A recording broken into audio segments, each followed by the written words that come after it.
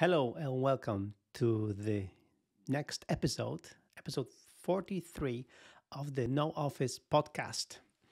Uh, we've had a break, but now we're coming back and we'll be coming um, on a like more looser cadence over the next months. But we will be recording uh, a podcast so stay subscribed to no office podcast and make sure that uh, to recommend it to your friends.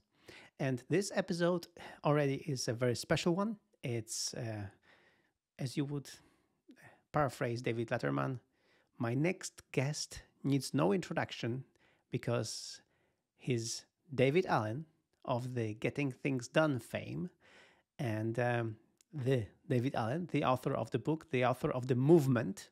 Um, and uh, I have a pleasure of, of speaking to him. Uh, I met him um, several times in, in my life, and uh, re- most recently on the GTD Summit. So on a on a conference for geeks, uh, getting things done geeks like myself in Amsterdam in 2019. So right before the pandemic. Uh, so then we saw each other. It was a blast. We've had a blast. Uh, I met lots of like minded people, many Nozbe users who use Nozbe to implement getting things done. And um, with that, um, uh, now after the pandemic, uh, I I convinced David to uh, to uh, talk to him and uh, interview him for this show to just get an update of what he still thinks, what's in what's what's going on with GTD, how uh, GTD um, evolved, how it's kind of the pandemic forced people to use GTD more and to really get organized. And also, we talked about holacracy, uh, which is a very interesting subject of making the companies uh, self manage, um, which is something I've been trying to do in my company. So, David is challenging me. He's asking, uh, I mean, I'm trying to ask questions, but he's actually asking me to go like one step further. So, it's a very interesting uh, conversation. I hope you'll enjoy it and you'll love it. Um, without much further ado, here's uh, David Allen Getting Things Done. So, David, thanks for agreeing to talk to you. As as you as you mentioned, uh, we have seen each other at the GTD summit in Amsterdam three years ago in 2019. So, right before the pandemic. It feels like yeah. a decade ago. God, what happened to those three years? Jeez, yeah. Right. I mean, um, so so so after this decade of three years, uh, tell me what what what do you think uh, is like the main um, like do you see a change in the world of business in the world of getting things done because of the pandemic because of the, the, the no, how the world happened it just it, it just sped some things up in terms of how many people needed to manage themselves better. Okay. Okay so you so you think that the just people realize that they need to get stuff done better?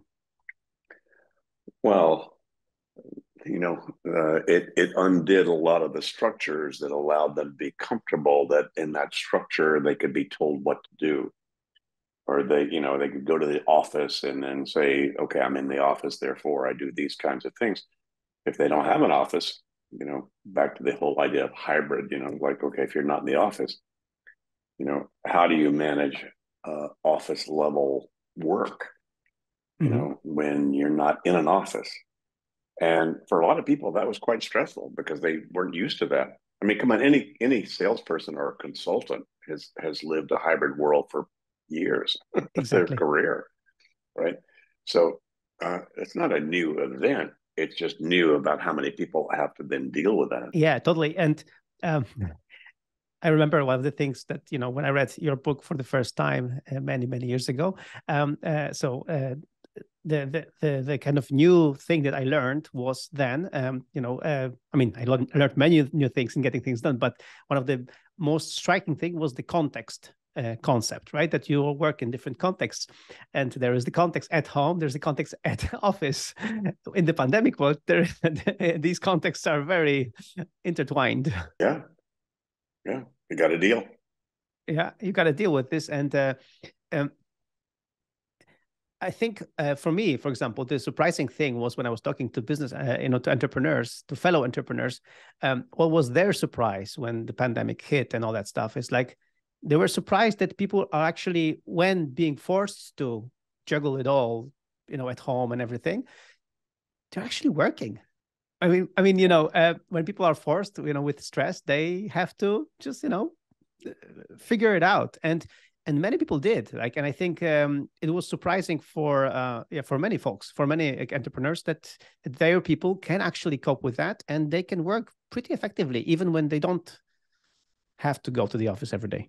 As long as they have keys for managing themselves mm-hmm. in terms of their their commitments, and you know, Michael, given what I teach, you should be able to. You want to time for kids? Great, go do kids. Just don't mm-hmm. be bothered by the rest of your world. Time to do work? Fine. Just don't be bothered by the rest of your world. So, how do you arrange your life so that whatever you're focused on is not distracted by the rest of your world? Well, you got to manage the rest of your world so that some part of you can put that to bed. But again, that's the essence of GTD has been from the beginning. Mm-hmm. Yeah. Um, uh, again, um, I still remember one uh, in, uh, in, my first seminar with you when I when we met for the first time. I, I still remember the uh, uh when you said that um, uh, that when you do your weekly review, so you think then, and then you know you'll know that um, next week you'll think again, but in the meantime you'll be just executing. So to me, this kind of um, yeah idea was kind of foreign. Like you think once and you prepare everything and then you have the confidence to trust that you're gonna think again in a week. Can you just you know elaborate on that? No you said it well you know that's it. If you're not thinking once a week you're trying to think all the time but not finishing it so I go, you know, why waste your time trying to think about what you ought to be that ought to be thinking about, how you ought to be thinking about what you ought to be thinking about, how you ought to be thinking about 24 7. Stop mm-hmm. once a week, finish that process so that some part of you could then just trust your intuitive strategic choices about what you do. So uh, in this inter- uh, in, in this uh, chat, uh, I want to discuss uh, like more kind of um, also this kind of concept of how to you know teach or introduce gtd in a team you know how to work together. And one of the things that we uh, did uh, uh, in my company is that on every friday we we make weekly review kind of mandatory. But i mean not really mandatory because you cannot force anyone to do anything. But you know we encourage people on fridays to to to, to spend the time on on a weekly review. And uh, we've had uh, you know mixed uh, successes with that. Not everyone is doing that.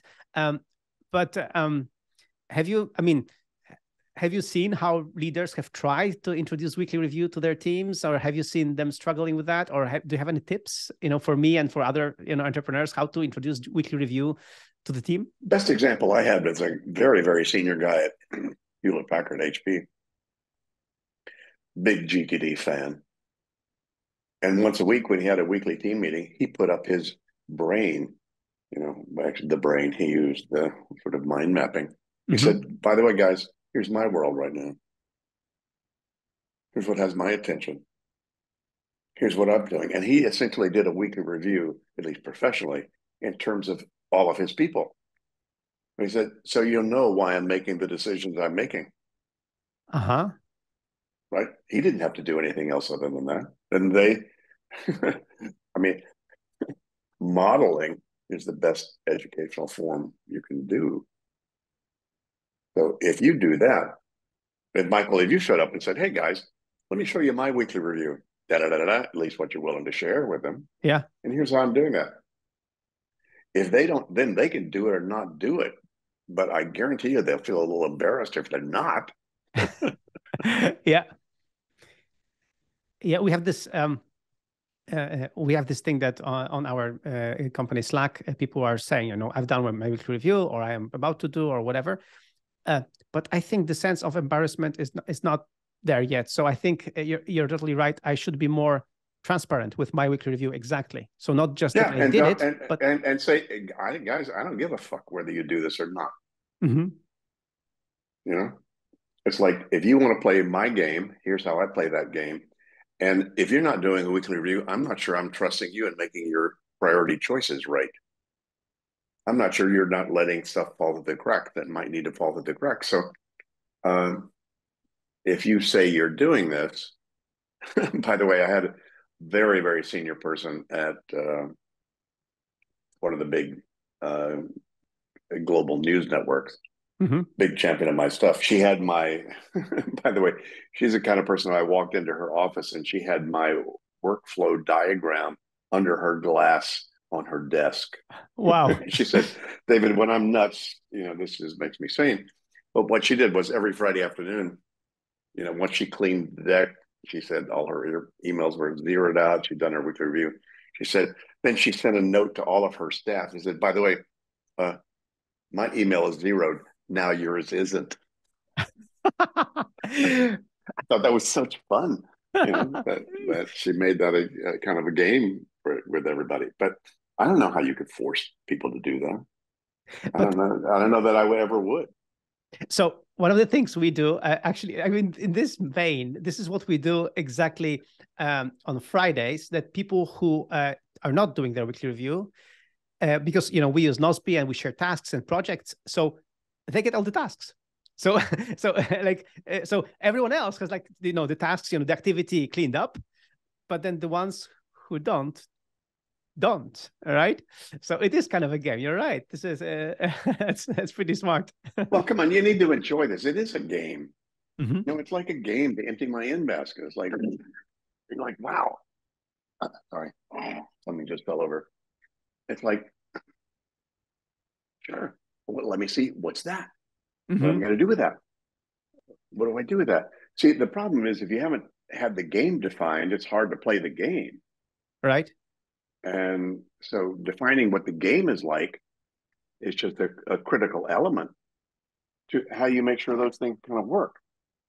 Right. So ultimately, well, you can define the game, you can be playing the game, and you can say, hey guys, here's the game to do, and make it kind of lightweight. Don't you know, don't make it so heavyweight for people. One of the things we practice in, in this weekly review also, and and this is and this is the best part that very often it comes from junior people on our team. It's like they create like for example, let's say there is a project and they see that there's a project, but it's completely abandoned. There are no next actions defined. Like it's just there, right? So, mm-hmm. uh, so what they do is they they they check who created the project, and they create a task for this person. Uh, uh, for example, to me, let's say, because for example, I had this idea, but I just completely, you know, abandoned the project. And there's a task I get from a junior person. Michael, uh, are we closing this project or what? and then I'm like, aha. So now I have to decide. And I think this is kind of this gamification thing that you know that we are um, kind of challenging each other, you know, to to clean to to define the next action or to well, it's a game, the process. It's, an, it's a it's an important game. You know, if if you like football, yeah, a football player, soccer player, to get on the field, what are the two things? Where's the goal? What's the next play? Mm-hmm. Those are the two things that are the drivers of what they do to be successful. And so, you know, so coaching you, that and just making sure people, great, where's your goal? What's the next play? Yeah, I think so. Yeah, I think yeah, I think the you know, especially the you know, what's your next play? Because you know where I mean, but of course, if you don't know the goal, the same thing. Your, your next play can be anywhere or anything. And, and I think this is what I um because I I read your article about you know uh, introducing GTD to teams and we are going to link this in the show notes to this uh, podcast episode. Um, uh, and here link it also on, uh, on on YouTube. So um, the um, one of the things you said that to, to introduce GTD in teams, the important factor is the ownership. So like you like so I, that people have to have their like um, tasks or ideas or goals or projects. They have to have you know clear owner otherwise they will not be moved forward right well the purpose of a team is to fulfill some purpose for the team yeah so who owns that purpose mm-hmm. who knows what it is is the team aware of why they are a team you wouldn't be a team if there wasn't some reason to be a team mm-hmm.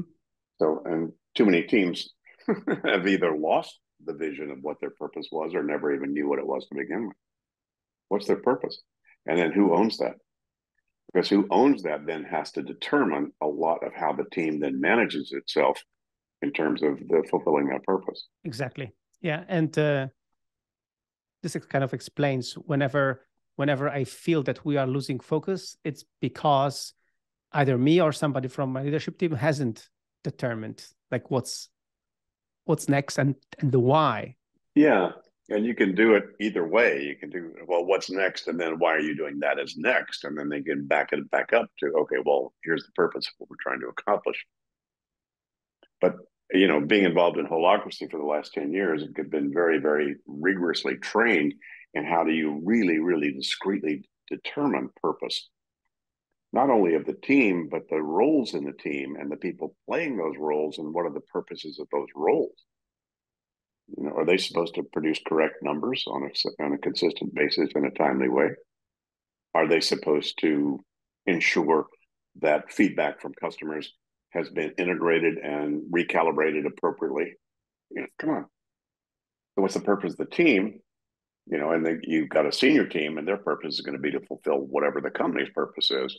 You know, as a team, but then each one of them probably has their own separate roles that then need to be calibrated. So I've, I've, you know, for 40 years since I've learned role-based organizational, you know, uh, organization, role based stuff is great, but in the last 10 years, I've gotten much more discreet about roles, how critical that is. Because, you know, you and I can like each other, but if we're unclear about what role you have, what role I have, and if they overlap, yeah, you know, we want to shoot each other.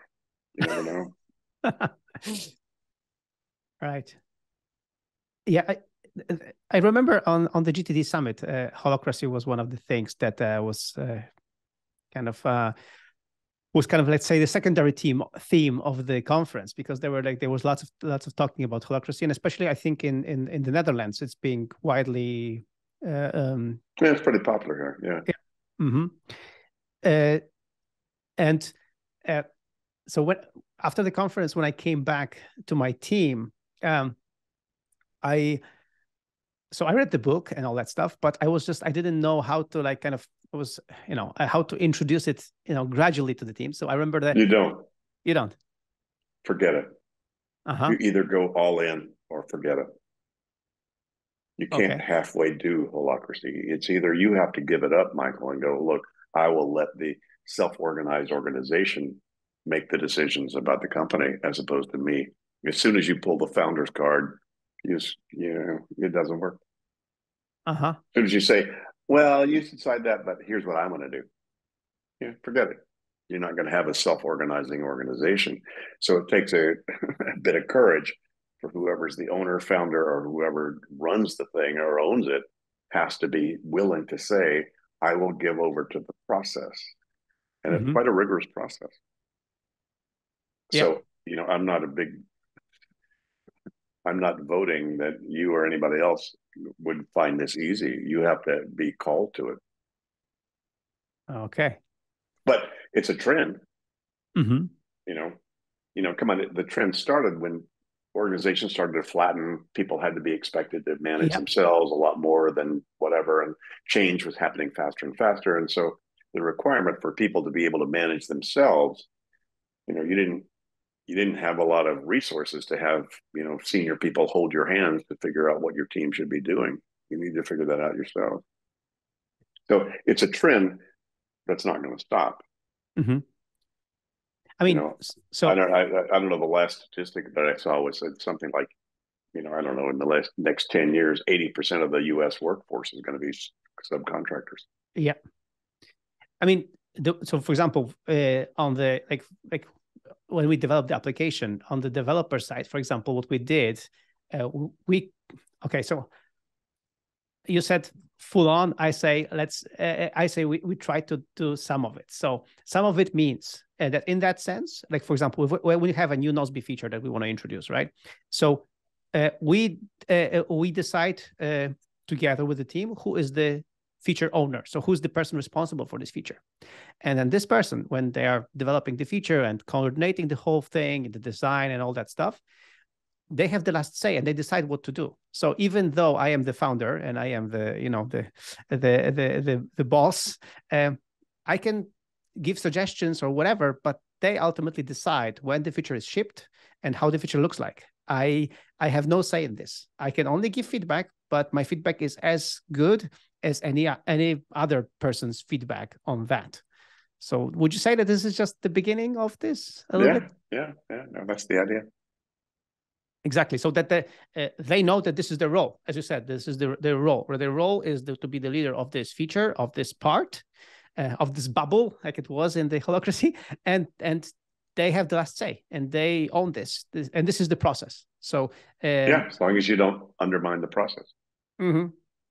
But you there's could. Al- there's always temptation to do that. but uh, so so my experience doing that uh, so my challenge doing that was really to remind them that they are the boss in that sense because kind of i don't know um so my people are really you know as every founder would say i have the best team of course of course my people are the best but what i'm saying is that they are the best but i think the ingrained kind of um the way people were brought up you know in the professional world is that they have to still adhere to the hierarchy of the you know of the organization. And so it it bears reminding them that you know you're the boss here. This is your decision. If you say this is if you say this you say this that that this is how we roll. And right. I see that we have to keep on reminding them that to be able to make sure that they finally get the message that it's not yeah. really easy but to... no i understand. I just signed a contract you haven't you haven't done that Okay. So they all know you could pull the plug at any time. That's the difference. And uh-huh. I'm not saying, you know, you're, what you're doing is great, fabulous. And if it worked, hey, mm-hmm. good work. I'm just saying, if you really wanted to do this, you'd mm-hmm. have to sign a contract to make sure that you will keep that agreement, that they make that decision. And by the way, in a holacracy framework, you could be given all the power you want to make whatever decisions you want as long as the organization agrees to that. Right. So, you know, it's a, it's a, Brian, you know, came up with it. He's from another planet. I mean, he figured this thing out in detail. How do you create organizational mind like water? Mm-hmm. So uh, he did it. Yeah. So basically, so basically, what you're saying is that, uh, because because what I'm saying is that my concern is that um, because uh, uh, uh people are brought up this way, they are not doing it. You, what you're saying is that, right, but because I haven't signed the contract, so they really have it, like they know, that's why they don't, they are always kind of, they would be second guessing that may make, eh, eh, like not making, not being sure that I might pull the plug. Sure. And by the way, even though I signed the contract, Kathryn and I did, it still took three or four years before people didn't want to go, oh, well, yeah, but David or Kathryn could still do X, Y, and Z. Okay. The company. So it took a while for people to really get that we meant what we said. Because they're, you know, they're still going to go to you, Michael. Yeah. I'm sorry. They will. But, and there's nothing wrong with that. Just, mm-hmm. that. That's the way that's the way that game plays. But if you say, yeah, and you know, but I have agreed, you know, in writing, I have agreed in you know, in principle, I've, I've made a commitment that the way we've now structured the organization, it, it sounds like you may have, you know, individual relationships with these teams and with mm-hmm. projects, but it's probably not built into the organization. And I'm not saying you should. Again, yeah. you need to be if you want a total buy-in, that makes the whole organization function that way. Otherwise, it's ad hoc in terms of how you're managing that. But sounds mm-hmm. like you're doing well. Yeah. yeah. Um, it's it's like it's like again when we introduced, for example, um, uh, uh, Mighty Fridays. So Mighty Friday is the concept where we introduced in our company that on Fridays we don't do um, uh, uh, you know normal work. We don't do day-to-day work. Well, on fridays we do weekly review and on fridays we focus on personal development. So you can read stuff you know you can read finally the gtd book or i don't know go through a course or whatever. So friday is for that right?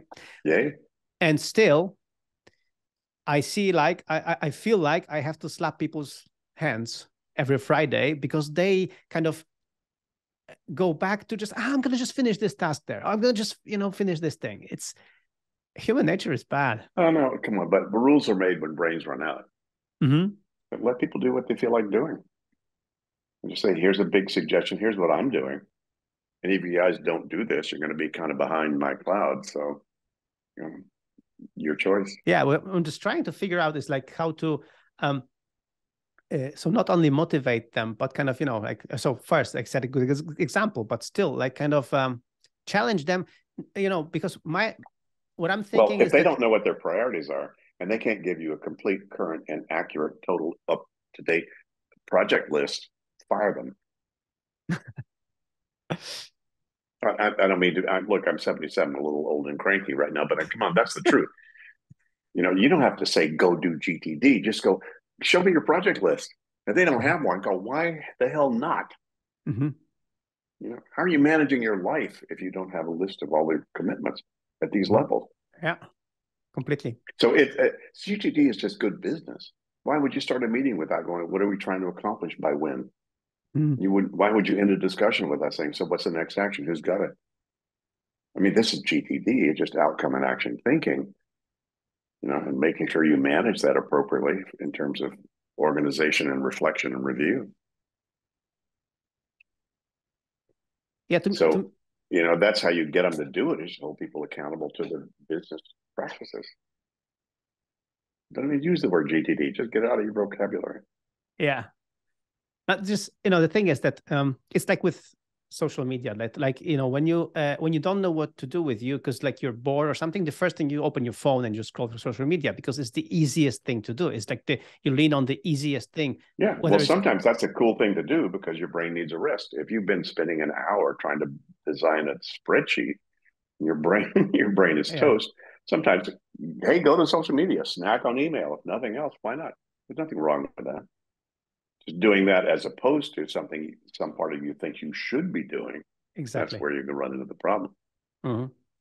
And th- that's how I feel about these Fridays very often is that, that that people instead of just figuring out, as you said, figuring out what what they should, you know, what they should do with the you know the day that I'm giving them for personal development, they can do whatever they want. Uh, they kind of lean in on the easiest, like oh, I'm going to just finish the, the, the day-to-day tasks. I'm going to just still, you know, work. Yeah, I probably would too. Yeah. Why would You're you? telling I mean... me to grow myself. I'm not ready to grow myself. I'm I'm adult enough. Thank you very much. I'm gonna go do this other stuff. So don't well, I don't know. Up to you if you want to take on the preacher role. it's not only the preacher role, it's like more um yeah, maybe. Well, you yeah. might, you might. I don't know if you've communicated. Talk, guys. Here's why I suggest you do this. Have you written that out really sincerely? Yes, I have. But maybe we should. Maybe I should. I have done it like years ago, and maybe I should revisit that. How? how yeah. Or just have done. a meeting again. And guys, here's what I suggest. How are you guys feeling about this? Should I just stop? Mm-hmm. You know, pinging you about this kind of stuff. Yeah. You know, I don't want to be a bother. Exactly. I'm just trying to be an inspiration because it worked for me and whatever. So just be honest and open and you know not push on that michael. Yeah. Because totally. you can be a pushy kind of guy. Yes i can. But aren't over all overachievers like that? Uh, until they learn better.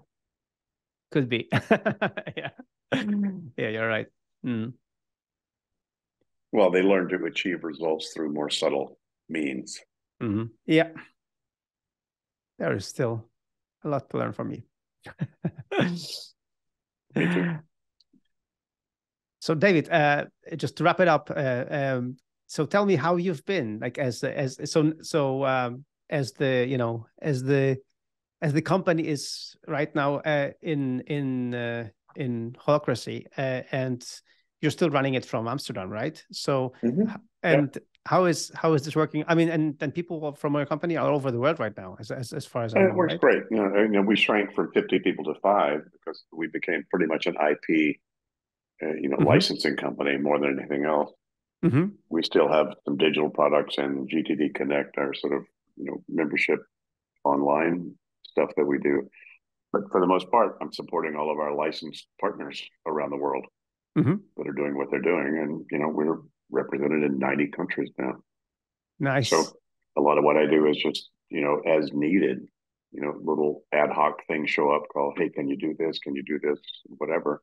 and I'm still now that the pandemic is over. I I just did a keynote in Nashville and just been uh, contracted to do another keynote in Virginia, you know, next month. So surprisingly, you know, uh, my invitations to do my own, you know, personal keynote presentations is still kind of alive and well out there, at least a little bit. So I'm still doing that. So that's a lot of what's going on. I, I can't stop doing GTD. Anybody asks, like you yeah. or anybody else, go, hey, you know, come on, it's great stuff. It does nothing but improve people's lives. And again, at age 77, I don't know how many more years I got to crank this out, but you know, and I thought at some point, Michael, you and the, the you know six million other people who got GTD, and they go, okay, now what? And yeah. go, well, I'm done. I'm done. But they keep coming out from under the rocks. You know, they keep. I've been I've done 2,000 podcasts and interviews since 2001 since I the first edition of Getting Things Done. So I, but they, they every I, I still do one or two a week. Yeah. Who knew? Who knew? Who knew? Right. And that's why I invited you because I, I think it all bears repeating and it all bears, you know, uh, and I'm sure there will be lots of listeners of this show to just like, okay, so who is this David Allen? What is this GTD? like they will be like, they, they will see it for the first and anybody time. who's read the book, read it again. It'll be a whole different book. Right. But these are the books I, I keep on coming to, like uh, uh, the GTD book, uh, the Essentialism by Greg McKeown. Uh, like it, there are a few, just very few books that I keep on rereading and keep on reading back. You know, yeah. And keep on and and the best part is with every read I learn something new. So, yeah. Well, you're a new person every time you read it, so you see it through a different lens. So your different lens notices different things in the information. Exactly. Well, David, thank you so much. It's been a blast. So, thanks for tuning in, and hi, I hope you enjoyed this conversation with David Allen the author of the book Getting Things Done The Art of Stress Free Productivity. Uh, as you know, Getting Things Done, this book was the sole inspiration for me creating Nozbe.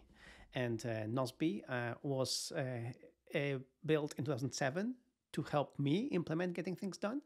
Um, uh, I mean, for example, the, the view of priority was initially called next uh, next actions, and uh, the whole idea of con- of contexts, uh, projects, um, it was all born there. Uh, now, the new Nozbe that we just introduced uh, a few years back, the new Nozbe is focused on helping you, not only you get things done, but also the teams get things done together. Because as David said in the conversation, if you don't uh, see other people's project list and if you don't know uh, their priorities or their next actions it's hard to say it's hard to decide what to do and where to go next that's why uh, with Nozbe we're trying to make gtd more collaborative but on the other hand inspire everyone on the team to do their weekly review on friday to review their projects to review their tasks and to make sure that they've got the priorities straight and they know what's next for them for next week so that's it. Thank you so much. And till the next No Office podcast.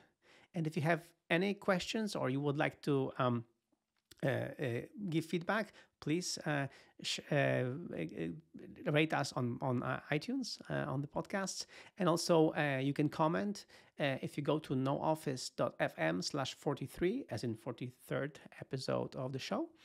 over there, you'll find this episode also as a video and uh, you will be able to add comments and i'll be happy to respond to these comments so make sure to don't be to not be a stranger and uh, let me know what you think.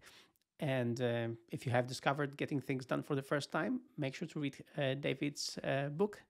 And if you want to implement gtd use nozbe okay thank you so much and till the next one